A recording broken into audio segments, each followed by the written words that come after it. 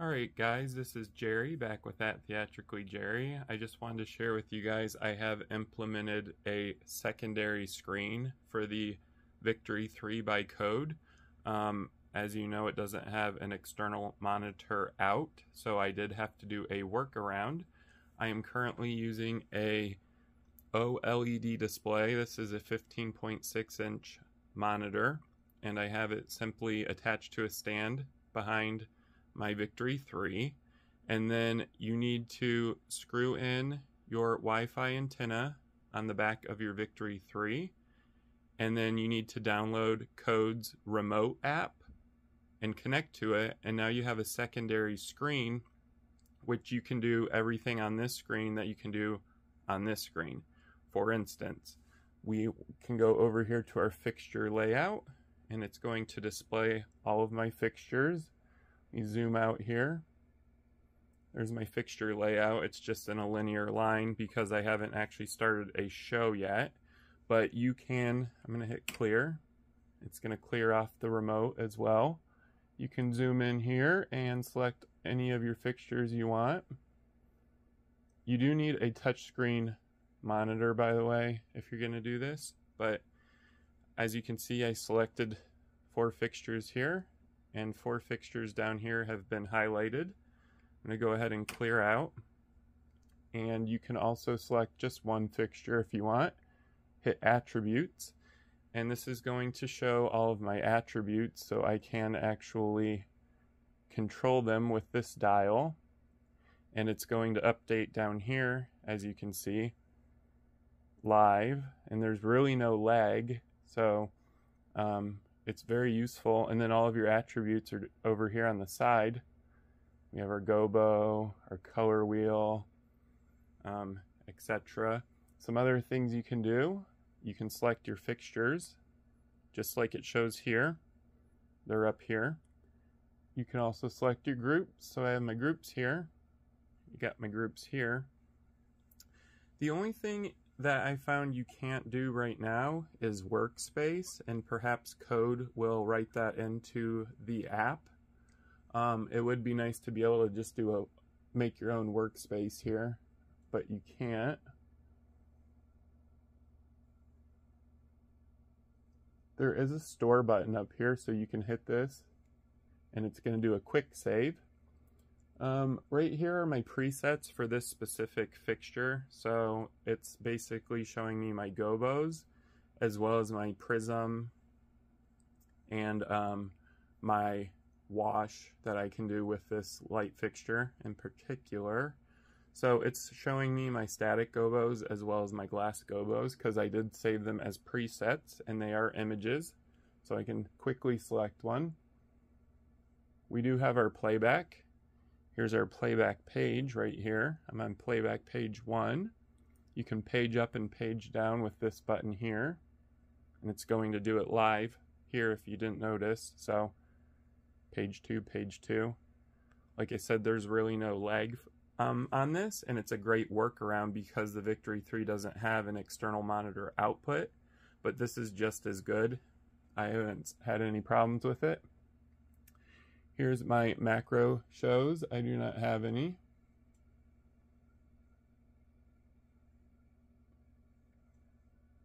Here's my show list. I also don't have any of these stored because I'm not doing a show currently. And we're back to our layout here. And you can zoom in on your fixture layout. You can also switch from the images to showing you what light is on. So this is going to show you the color of the light as well as the intensity. Right now they're all at zero. Go back to here.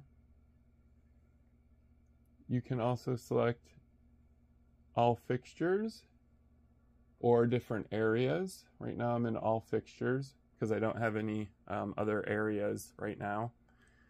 And we're going to go ahead and bring that back. So that's a full view of all of my current fixtures that I've programmed into the Victory 3 at my fingertips. You can also, of course, use your console at the same time. So if I select a fixture here, it's going to select it up here. So there is your workaround for an external monitor. Now let's go ahead and just do a close-up so you guys can kind of see the layout of um, Code's remote app.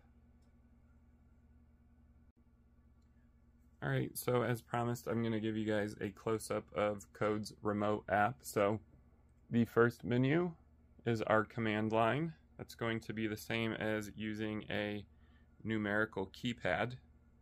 Um, the next one is attributes. So this is going to show you all of the attributes for your light fixture that you have selected or your group. The next menu is fixtures. You're going to be able to select all of your fixtures.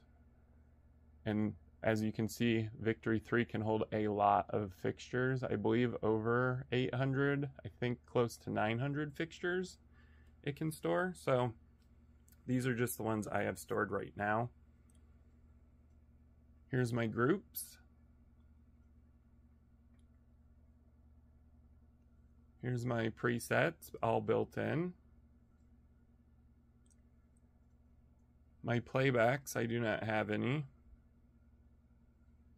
Like I showed earlier, you can page up and page down. You can also hit these buttons here. It's going to select playback 8 right now. And you can bring up the fader for 8, but there's nothing programmed into it currently.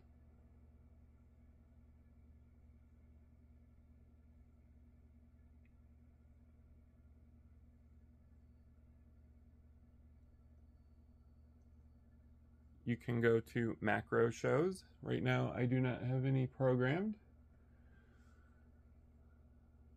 You can also go to your show lists I do not have any programmed as well. Actually, really don't have anything programmed. I'm more focusing on just getting the fixtures into um, my Victory 3 and also getting all of the images correct for the gobos as well as the fixture profile images. So just focusing on that. I'm not focusing on playbacks or cues or anything. Um, your very last one is your fixture layout like I showed you and you can zoom in here and you can zoom over and if you want to focus on all of them you can go ahead and hit this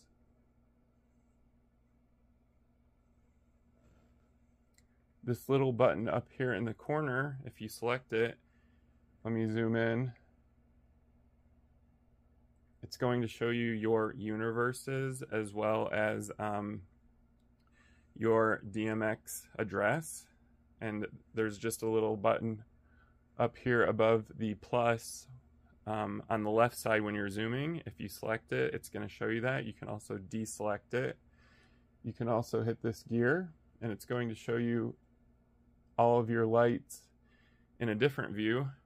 It's going to look like a little spotlight and right now they're all at zero, so nothing's on. So um, these spotlights are black. However, when you do bring up your dimmer and a certain color, it's going to show that color. And the higher up your dimmer, the brighter this little um, spotlight's going to be for those fixtures. So I think that's something cool. Just another view of all of the fixtures here.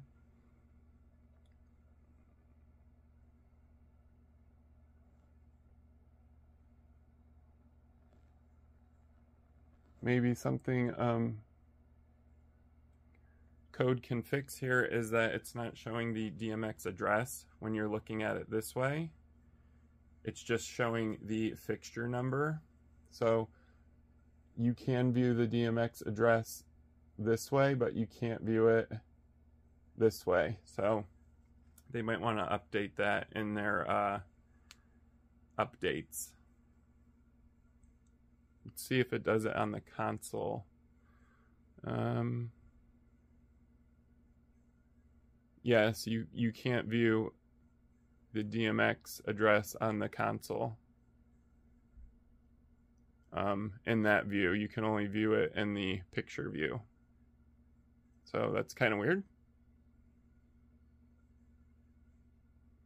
I'm selecting them on the Victory 3 and they're highlighting up here instantly. There is no lag when connected to the remote app, so you don't have to worry about lag.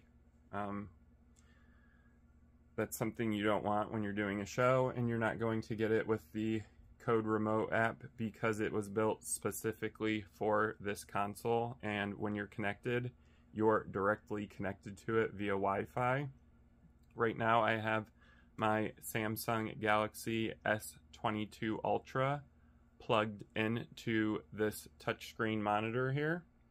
And on the Dex OS app, I selected Code Remote. That's how you're seeing this.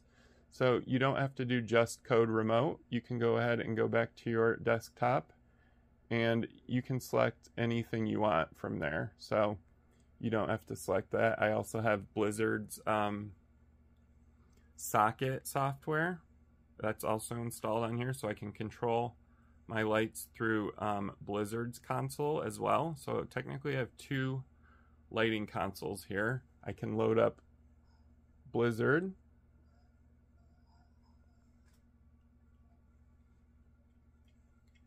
And now I have Blizzard's lighting console loaded.